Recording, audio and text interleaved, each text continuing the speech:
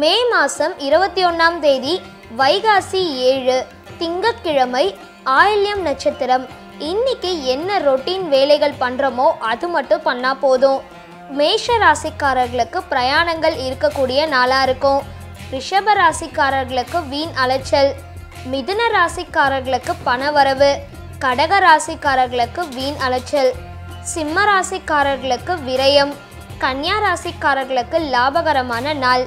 துலாம் ராசிக்காரர்களுக்கு தொழிலில் முன்னேற்றம் விற்சக ராசிக்காரர்களுக்கு சந்தோஷமான ஒரு நாள். தனுசு ராசிக்காரர்களுக்கு சந்திராசிரமம்ன்றதுனால ரொட்டீனாக என்ன வேலைகள் இருக்கோ அது மட்டும் செஞ்சால் போதும். மகர ராசிக்காரர்களுக்கு ஒரு சிறப்பான நாள். கும்ப ராசிக்காரர்களுக்கு உடல்நல சோர்வு. மீன ராசிக்காரர்களுக்கு அதிர்ஷ்டகரமான நாள். இந்த வீடியோ பிடிச்சிருந்தால் லைக் பண்ணுங்கள் கமெண்ட் பண்ணுங்கள் ஷேர் பண்ணுங்கள் அண்ட் அடுத்த வீடியோ பார்க்க மறக்காமல் பக்கா டிவியை சப்ஸ்கிரைப் பண்ணுங்கள் if you like this video please like it comment it share it and to watch next video don't forget to subscribe Pakka TV